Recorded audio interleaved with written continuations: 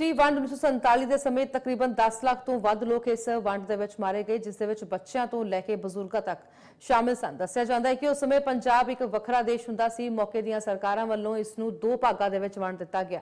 ਉਸ ਪੰਜਾਬ ਦੇਸ਼ ਦੇ ਵਿੱਚ ਹਰ ਵਰਗ ਸੁਖੀ ਸੀ, ਜਿਸ ਦੇ ਵਿੱਚ ਹਿੰਦੂ, ਮੁਸਲਮਾਨ, ਸਿੱਖ, ਈਸਾਈ ਸਭ ਵਧੀਆ ਰਹਿੰਦੇ ਸਨ ਅਤੇ ਹਰ ਇੱਕ ਦਾ ਆਪਣਾ ਚੰਗਾ ਕਾਰੋਬਾਰ ਹੁੰਦਾ ਸੀ। ਜਦੋਂ ਦੇਸ਼ ਦੀ ਵੰਡ ਹੋਈ ਤਾਂ ਇੱਕ ਲਕੀਰ ਖਿੱਚ ਦਿੱਤੀ ਗਈ ਸੀ ਤੇ ਇੱਕ ਪਾਸੇ ਪਾਕਿਸਤਾਨ ਤੇ ਦੂਜੇ ਪਾਸੇ ਦਾ ਪੰਜਾਬ ਭਾਰਤ ਦਾ ਹਿੱਸਾ ਬਣ ਗਿਆ, ਜੋ ਚੰਗੇ ਕਾਰੋਬਾਰ ਕਰਨ ਵਾਲੇ ਲੋਕ ਸਨ, ਉਹ ਭਾਰਤ ਦੇ ਵਿੱਚ ਆ ਕੇ ਰਿਫਿਊਜੀ ਬਣ ਗਏ ਤੇ ਉਸ ਤੋਂ ਬਾਅਦ ਇੱਥੇ ਆਪਣਾ ਕੰਮਕਾਰ ਸ਼ੁਰੂ ਕੀਤਾ, ਜੋ ਦੇਸ਼ ਦੀ ਵੰਡ ਸਮੇਂ 10 ਲੱਖ ਲੋਕ ਮਾਰੇ ਗਏ ਸਨ। ਉਹਨਾਂ ਦੀ ਯਾਦ ਦੇ ਵਿੱਚ ਹਰ ਸਾਲ ਸ਼੍ਰੋਮਣੀ ਗੁਰਦੁਆਰਾ ਪ੍ਰਬੰਧਕ ਕਮੇਟੀ ਵੱਲੋਂ ਸ਼੍ਰੀ ਅਕਾਲ ਤਖਤ ਸਾਹਿਬ ਵਿਖੇ ਸ਼੍ਰੀ ਅਖੰਡ ਪਾਠ ਸਾਹਿਬ ਦੇ, ਜੀ ਦੇ ਭੋਗ ਪਾਏ ਗਏ ਉਪਰੰਤ ਅਤੇ ਰਾਗੀ ਸਿੰਘਾਂ ਦੇ ਵੱਲੋਂ ਕੀਰਤਨ ਵੀ ਕੀਤਾ ਗਿਆ।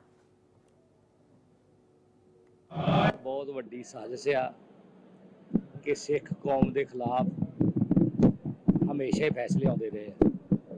ਸਿੱਖਾਂ ਦੀ ਸਿਰ ਮੌਰ ਜਥੇਬੰਦੀ ਸ਼੍ਰੋਮਣੀ ਗੁਰਦੁਆਰਾ ਪ੍ਰਬੰਧਕ ਕਮੇਟੀ ਦੇ ਸਾਡੇ ਪ੍ਰਧਾਨ ਸਾਹਿਬ ਨੇ ਤੇ ਸ਼੍ਰੋਮਣੀ ਅਕਾਲੀ ਦਲ ਦੇ ਪ੍ਰਧਾਨ ਸਾਹਿਬ ਨੇ, ਸਰਦਾਰ ਸੁਖਬੀਰ ਸਿੰਘ ਬਾਦਲ ਸਾਹਿਬ ਨੇ। ਹਮੇਸ਼ਾ ਹੀ ਸਿੱਖਾਂ ਦੇ ਹੱਕ ਵਿੱਚ ਜਦੋਂ ਵੀ ਮੁੱਦੇ ਚੱਕੇ ਆ, ਉਹਨਾਂ ਨੂੰ ਹਮੇਸ਼ਾ ਹੀ ਇਗਨੋਰ ਕੀਤਾ ਗਿਆ ਤੇ ਜਿਨ੍ਹਾਂ ਨੇ ਸਾਡੀ ਕੌਮ ਲਈ ਪੰਜਾਬ ਲਈ ਕੁਰਬਾਨੀਆਂ ਕੀਤੀਆਂ। ਜੇ ਉਹਨਾਂ ਦੀ ਕੋਈ ਪਰੋਲ ਦੀ ਗੱਲ ਆਉਂਦੀ ਆ, ਉਹਨਾਂ ਨੇ ਸਜ਼ਾ ਵੀ ਪੂਰੀਆਂ ਕਰ ਲਈਆਂ।